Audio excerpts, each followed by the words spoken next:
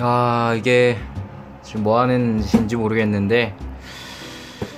네.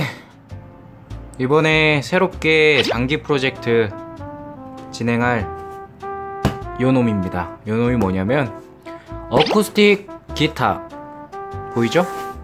기타예요 기타. 아 잘 할지 모르겠는데 일단 한번 열어봅시다.